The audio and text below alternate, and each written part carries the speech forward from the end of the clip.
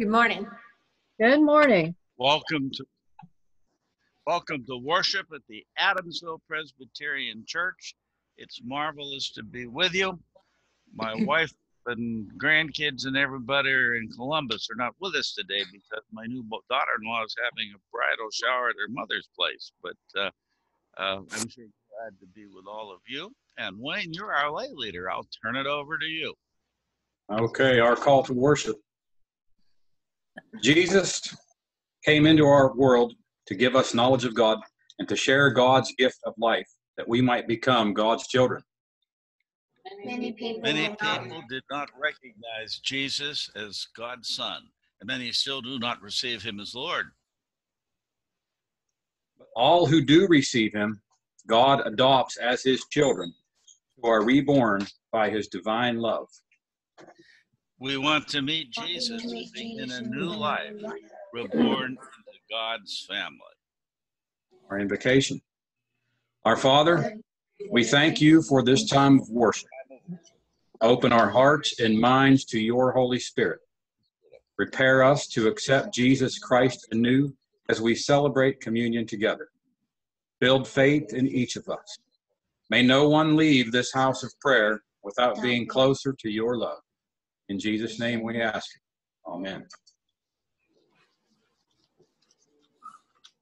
We have a weary traveler.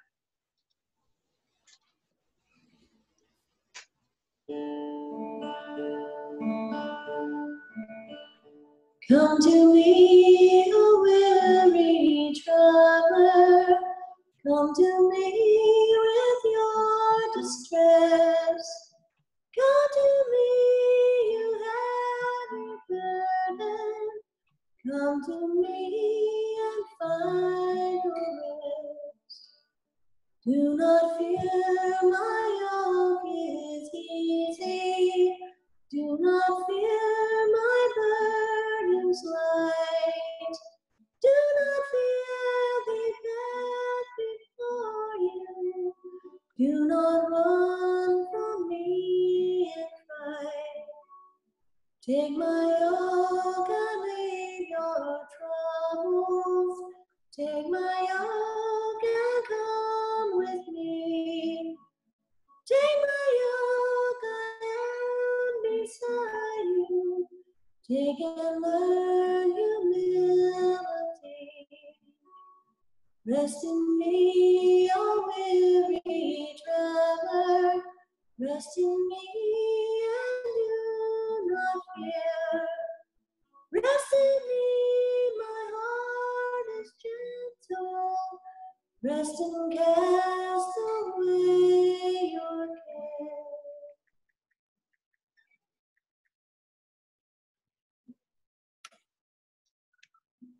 Very nice. You'll join me for the Apostles' Creed. I believe in God, the Father Almighty, maker of heaven and earth, and in his Son, Jesus Christ, Son, our Lord, who was conceived by the Holy Ghost, born of the Virgin Mary, suffered under Pontius Pilate, crucified, dead, and buried. He descended into hell. The third day he rose again from the dead. He ascended into heaven and sitteth on the right hand of God the Father Almighty. From thence he shall come to judge the quick and the dead. I believe in the Holy Ghost, the Holy Catholic Church, communion of saints, forgiveness of sins, the resurrection of the body, and the life everlasting. Amen. Prayer of confession. O God of love, you have revealed yourself in the life of your Son Jesus. He is our light, our life, and our hope. But we are of this world, and this world is indifferent to your gift of love. We are among those to whom your Son comes, who are prevented by sin from recognizing him as Savior. Forgive us our sins that deny our relationship to you. We are your sons and daughters. Restore us to your fellowship, that we may enjoy the blessings of being your children. We pray through Jesus Christ our Lord. Amen. I announce the good news of the gospel of Jesus Christ. Our sins are forgiven, but for the asking, our faith. Thank you very much. That was an absolutely beautiful hymn. I am so, so very glad that you found that, Nikki. Thank you so very much. Get all the young kids to kind of listen. Um, I'm preaching about something, a passage that I really enjoy today. Um, it's a very important passage. Jesus speaks it. And what he's saying is, Come unto me. The word comes a very simple word. Jesus didn't use anything complicated to get his point across. Come unto me. What a marvelous, beautiful phrase that is. If somebody says, Come, uh, you know, even my dog knows the word come because if I, and Miley doesn't know that many words. She knows Miley, and she knows good girl, and she knows bad dog, and she knows come. And if Miley's in the other end of the house, I'll either say Miley or I'll say come.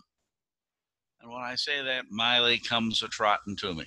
So that's one thing. Even my dog can understand that simple word, although my dog's pretty smart. Any rate, um, we get many invitations to come. Jesus gives us a special invitation. And if Jesus says come, whoa, I want to stop and listen because I want to follow what he says. And then the next phrase he says is come to me. That is a really important thing. And how do you little guys think that uh, uh, we can come to Jesus today? I'll tell you, but just spend three or four thinking seconds thinking about it. Come to me. How do I come to? I know. I can pray, and whenever it is I pray to Jesus, then I know that uh, He's going to take me. And that's kind of a wonderful thing if we stop to think it. If Jesus is who He says He is, and I believe He is the Savior of the world, it's a wonderful thing to know that we can always come to Jesus. And then he says, All you who are weary and heavy laden, and I will give you rest for my soul or to your souls. You know, people get exhausted in life and they get all kind of pressures on them. It can be bad grades in school, it can be problems at work, it can be sickness, it can be a thousand different things. But life is a lot easier if we know we can take every problem we have and every burden we have and lay it upon the Lord Jesus Christ. And I believe that with all of my heart. We can take all of our burdens and we can take all of our problems, and God is going to answer these requests. Thank you so much. I love talking to you, young people. Something to report to the church is our friend Lawrence McGranahan is back at St. Vincent's Hospital and he's real sick. He's in intensive care. And I know Norma was up here in Erie yesterday. She did get to see Lawrence for a little bit at Vincent, and then her granddaughter was having her high school graduation party. So I rather suspect that she's probably at her daughter's house right now.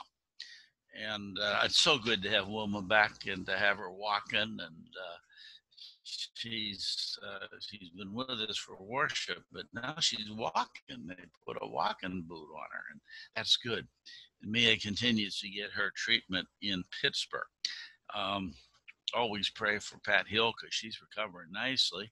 Uh, I don't have anything else. If anybody does, let me know we're going to pray. Our Father in God, it is wonderful to be able to come to you and to cast all of our burdens upon you. It's good to know that there's never a second in the day for any human being where they can't take their fears and their anxieties, their pressures, and cast them upon you, O willing Savior. And we give you thanks for this great gift. We live in a troubled time.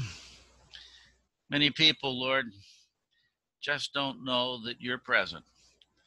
They no longer know whether there's a God who's active in the affairs of life. And we know that you are.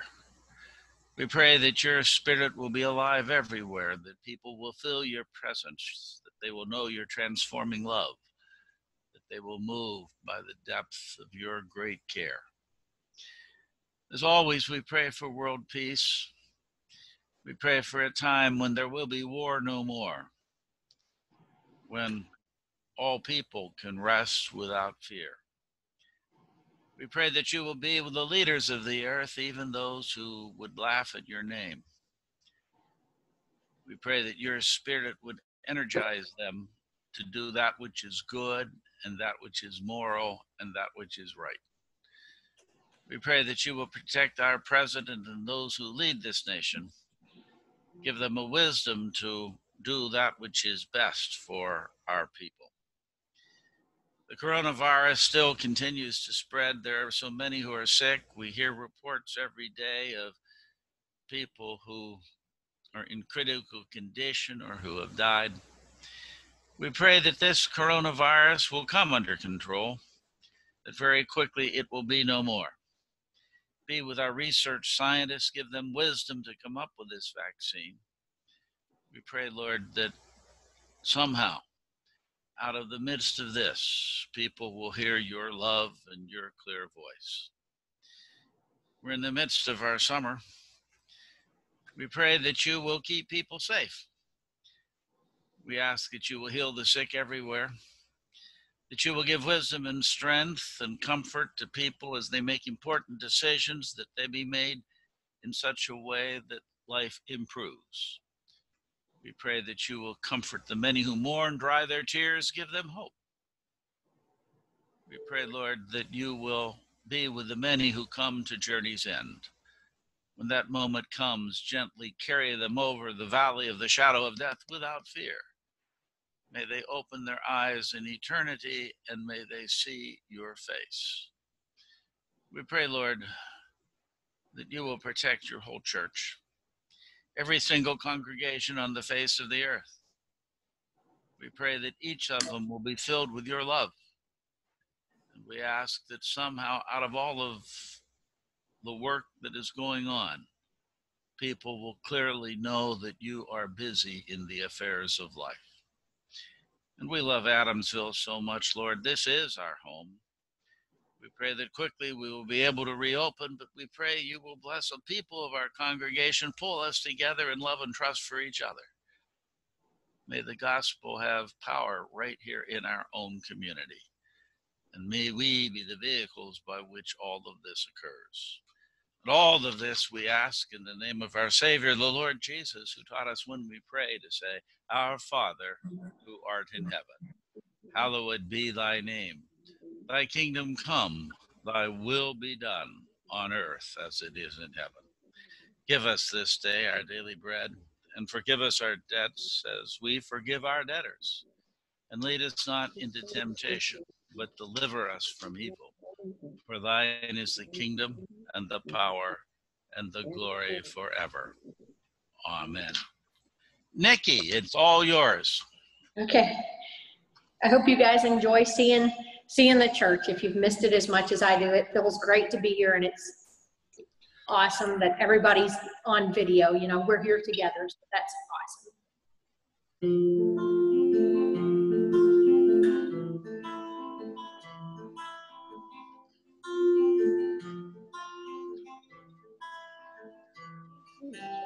I keep finding voices in my mind that say I'm not enough.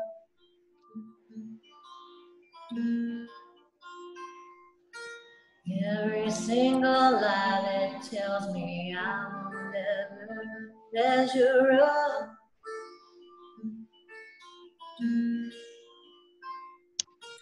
Am I more than just the sum of every high and every low?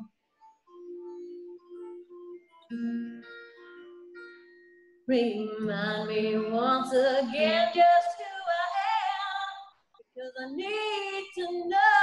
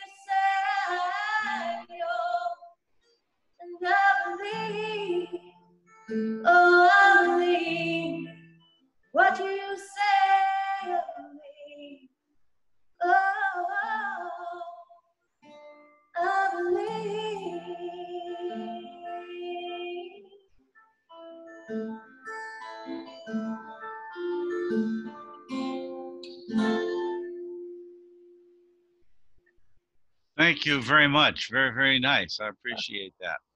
Thank you. Our scripture lesson from the Hebrew scriptures is taken from the 39th Psalm, beginning with the seventh verse. The psalmist poses a question. And now, O Lord, what do I hope for? My hope is in you. Deliver me from all my transgressions. Do not make me the scorn of the fool. I am silent, I do not open my mouth, for it is you who have done it. Remove your stroke from me. I am worn down by the blows of your hand. You chastise mortals in punishment for sin, consuming like a moth what is dear to them. Surely everyone is a mere breath. Hear my prayer, O Lord, and give ear to my cry. Do not hold your peace at my tears. And then one of my very favorite passages from the New Testament, it was last week's lectionary lesson, beginning with the 25th verse of the 11th chapter of Matthew. At that time, Jesus said, I thank you, Father, Lord of heaven and earth, because you have hidden these things from the wise and the intelligent have revealed them to infants. Yes, Father, for such was your gracious will. All things have been handed over to me by my Father, and no one knows the Son except the Father, and no one knows the Father except the Son, and anyone to whom the Son chooses to reveal him. Come unto me, all ye that labor and are heavy laden, and I will give you rest. Take my yoke upon you and learn from me, for I am gentle and heart, and you will find rest for your souls. For my yoke is easy and my burden is light. Every member of every church I have ever served is very familiar with this particular passage of Scripture. And I admit I absolutely thrill in the statement of the Lord Jesus. I have quoted it at every single communion service I have ever celebrated be it at Sunday morning worship, Saturday night live worship, or in home communion. In all scripture, there is no greater statement than this upon the subject of work and peace in the midst, or rather, rather rest in the midst of work and, and strife, and the responsibilities and the tensions of daily living the text is a great deal more than that. It is the first great public invitation of our Lord Jesus Christ to all of the peoples of the earth.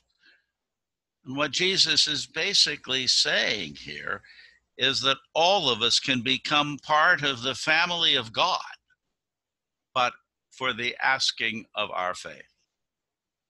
I spoke with a friend this week who asked me a question that I couldn't answer they said, How could a good God let this coronavirus continue to rage? How could we, for another whole group of months, be absolutely terrified to go outside? And I would be the first to say this is a question that cannot possibly be satisfactorily answered. There are times in human history when it is not clear what God is doing if God is doing anything at all. We see this in the first two chapters of the book of Exodus. Genesis concludes with Joseph and his brothers in Egypt. Joseph has a marvelous position. He is prime minister over the entire land. Centuries come and go, new kings take over the throne.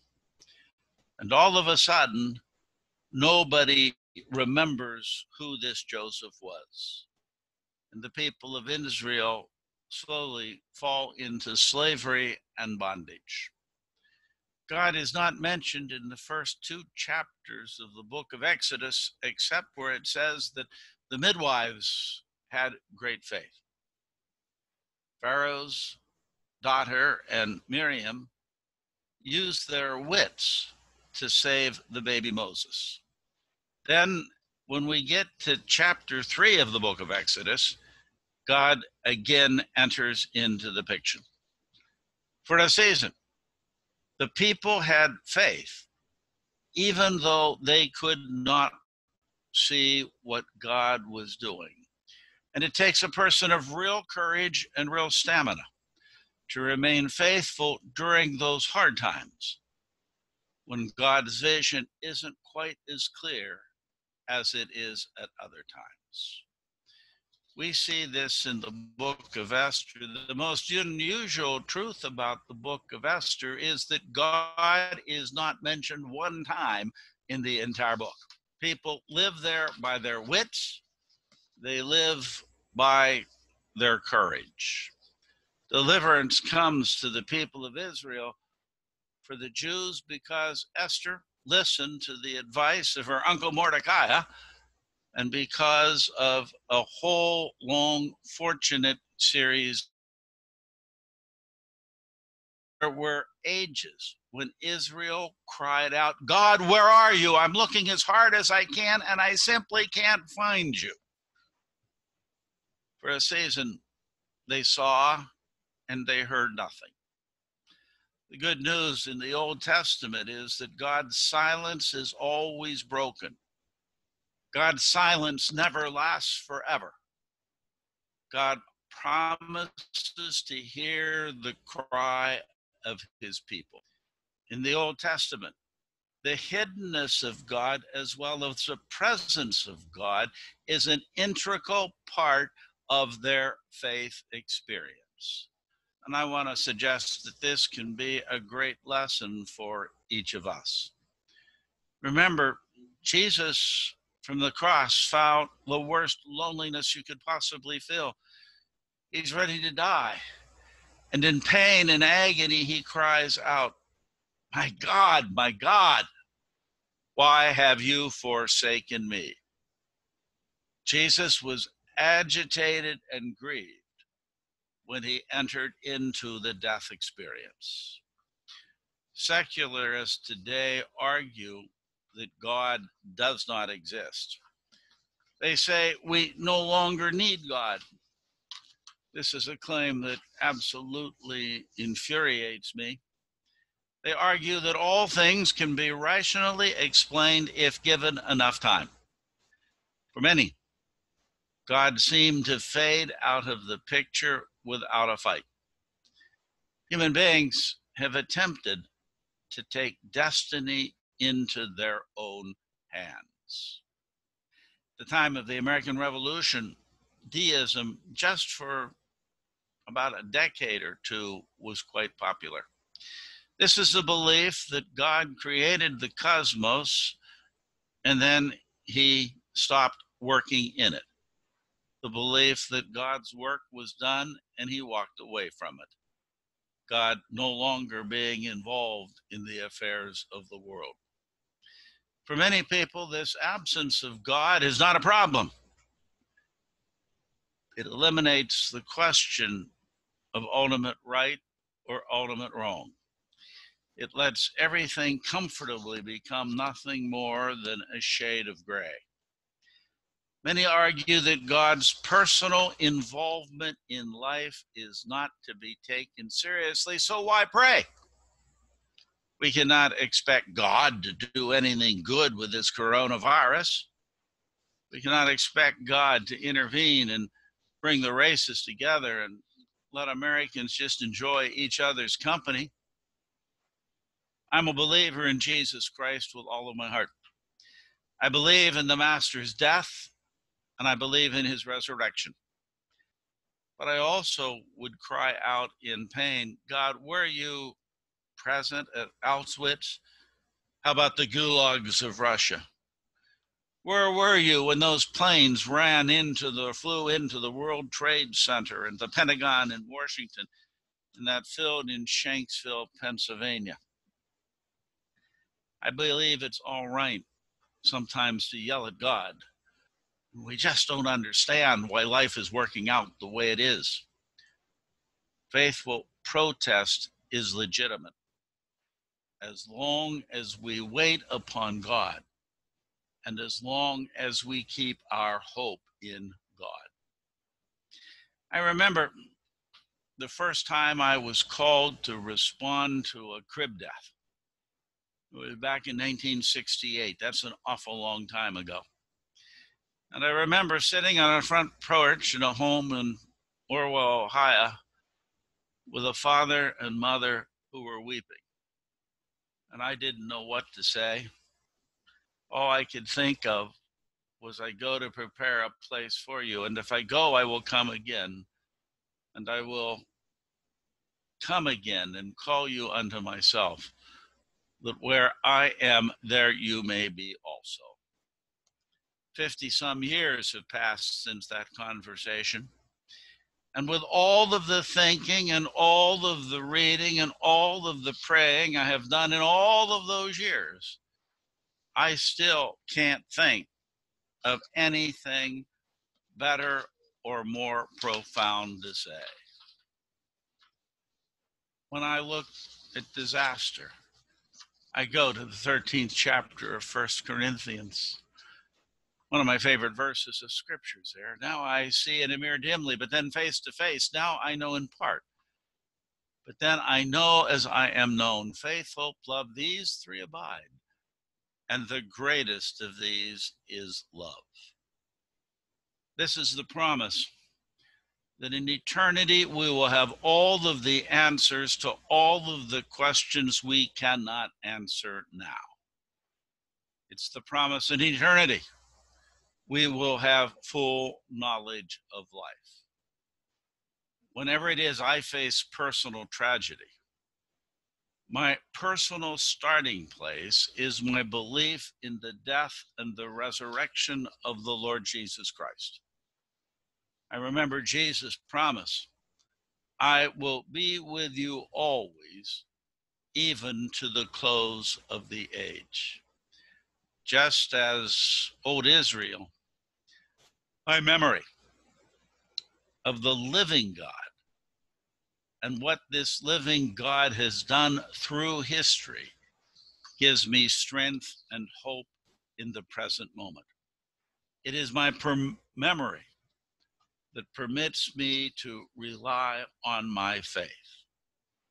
So, in times of crisis, I would urge all believers to use their memory and then use their This week, I buried a dear friend. Her name was Marguerite um, Bartlett, and she was 100 years old. I remember back 30 years ago, her husband at the time was 72.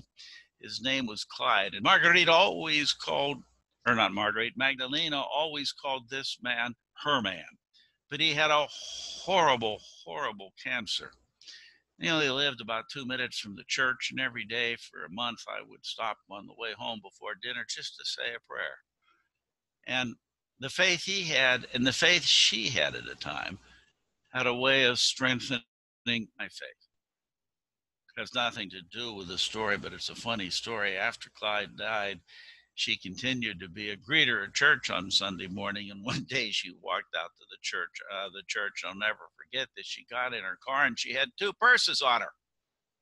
What she did was hug people, and somehow she put her arm through the strap of this other lady's purse, and without either recognizing it, walked out to the car with two purses and I had a lot of fun because I said, "You are one good church purse thief," and her family teased her for years about that, and she was so embarrassed. But at any rate, my reason of bringing this up is the fact that we raised this question: Is God really acting in our age? How do we know that God is involved?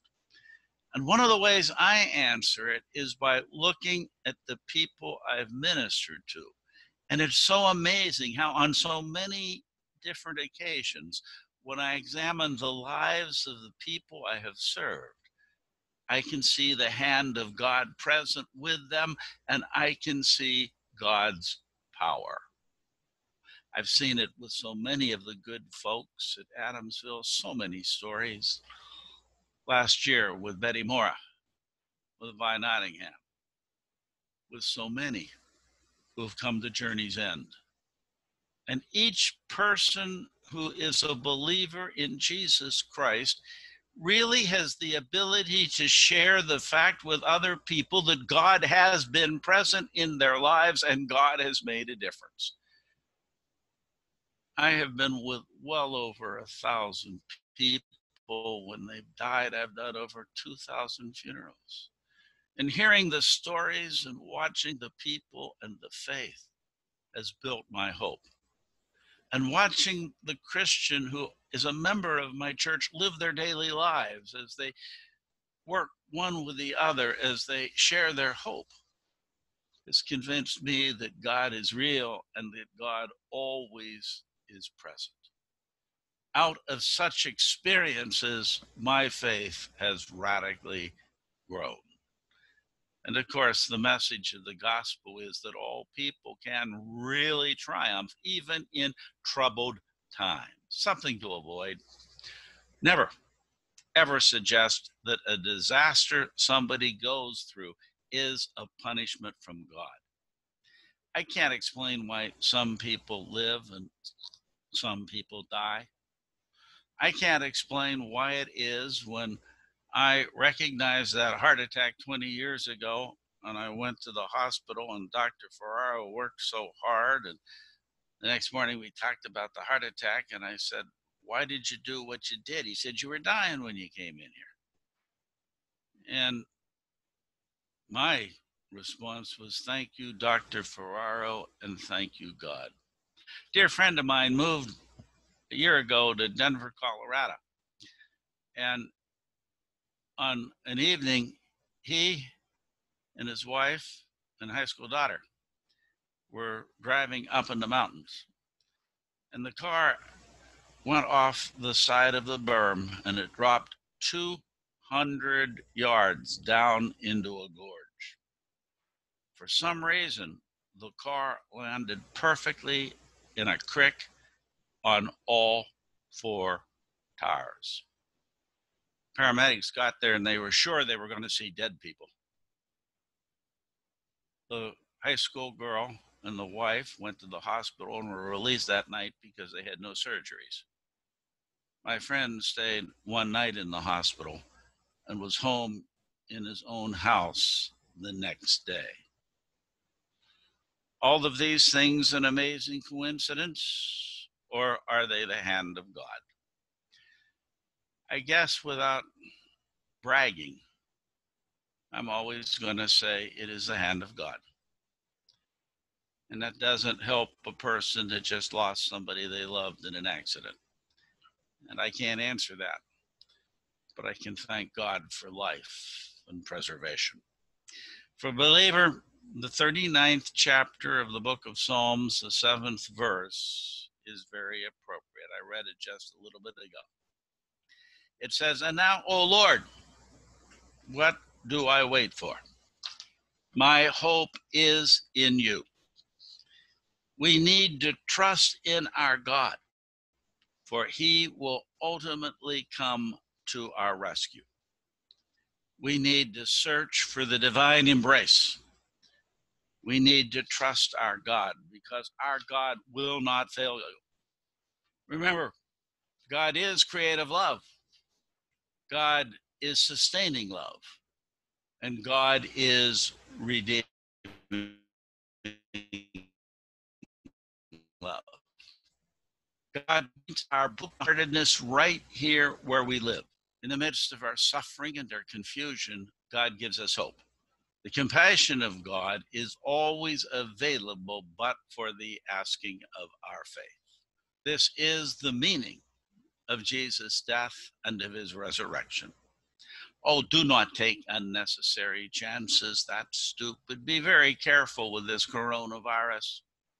Pray for all people. And always, whatever the problem is, take our fear to God. For Jesus did say, Come unto me, all ye that labor and are heavy laden, and I will give you rest. Take my yoke upon you and learn from me.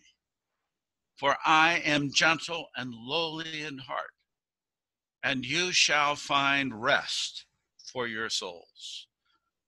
For my yoke is easy and my burden is light. I live by this promise, and I hope I hold on to this verse until the moment when I take my very last breath on this earth. Offering time. What I think might be interesting if in another week somebody would just take 60 seconds to say why the Church of Jesus is important. I think if we talk a little bit about what good the church does and what the importance of the church is, we can find a reason to really support it. And offerings are important, not only for our local work, but for our mission work. I know the church has always been my life. I would not live in a place where I couldn't find other Christian people with whom I could worship and share my experience. The church is so important because it is the place where the Holy Spirit dwells. Our Father in God, we pray that you bless our offerings and may we do your work well always. In Jesus' name we ask it. Amen. And then the bulletin Jean sent out, she listed ways that we can contribute to the church. Let's sing hymn number 432. That's Nikki.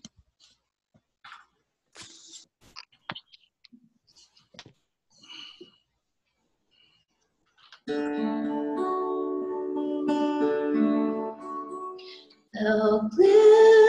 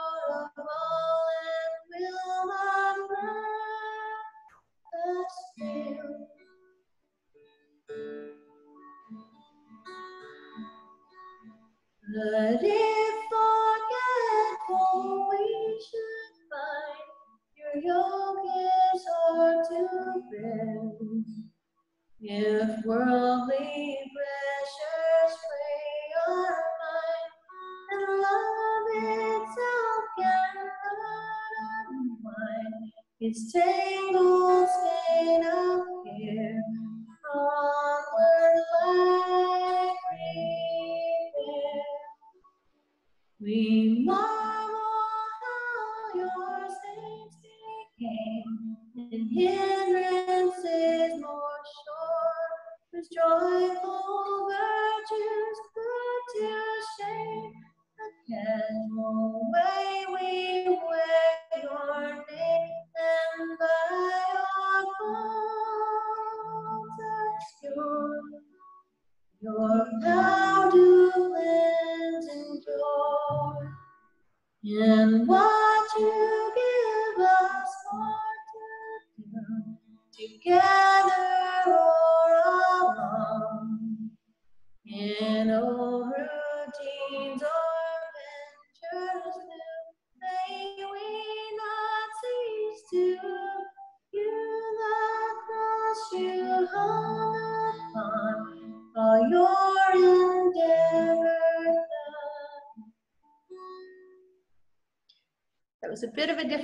Reverend Johns, and I'm sorry about that. I'm very happy. You do a wonderful job, and that's good theology in that singing. The Lord bless you and keep you. The Lord make his face shine upon you and be gracious unto you. The Lord lift up his countenance upon you and give you peace, now and in the life everlasting. Amen. And now we'll just sit around and